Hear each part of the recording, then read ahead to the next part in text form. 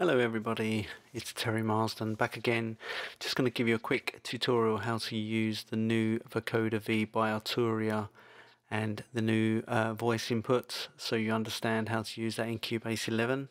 It's quite straightforward and all you need to do is get yourself a instrument track of the Vocoder V set as I have here and then once this is open you need to go to the top of the window, the GUI bar and click on this icon here which is the sidechain icon and it will turn orange. And then next you will need to go into the little cogwheel and um, if you've used Cubase before you should know this how to do this. Uh, um, what you need to do is just then press add side sidechain and your microphone channel should be in the list below. I've already added so you can hear me um, so the other thing I like to do is also um, pre-fade listen.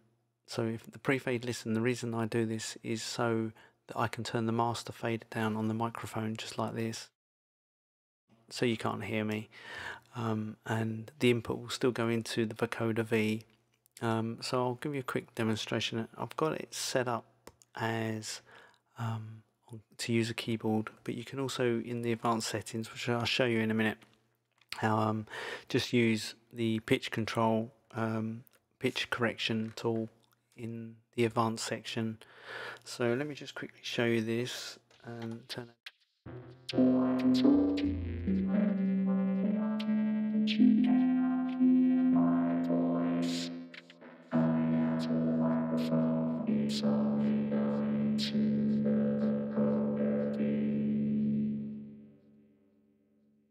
so you get the idea that what you can do there.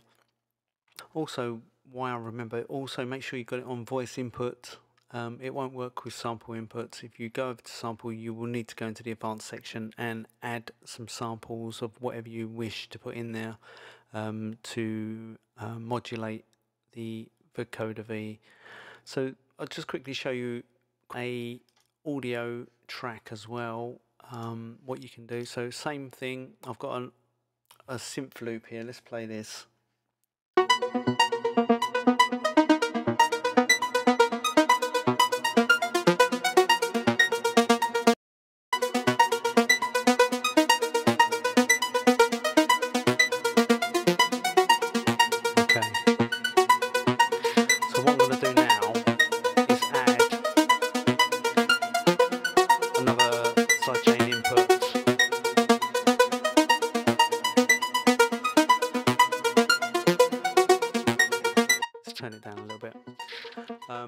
Yeah, go into the cogwheel and then you can um,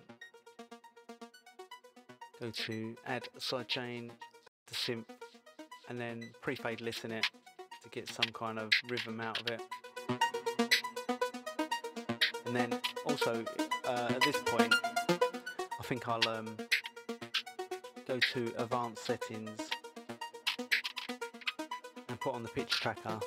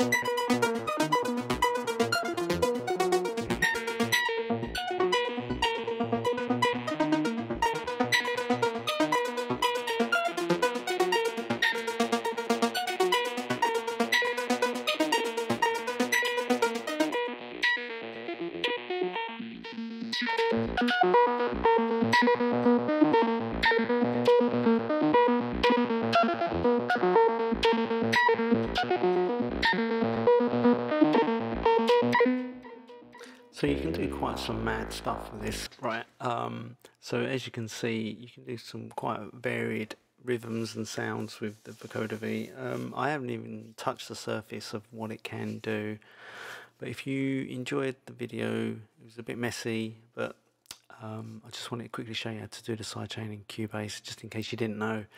Um, any questions, leave a comment and subscribe if you wish. Um, and hopefully I'll make another few videos and I will see you soon. Thank you very much.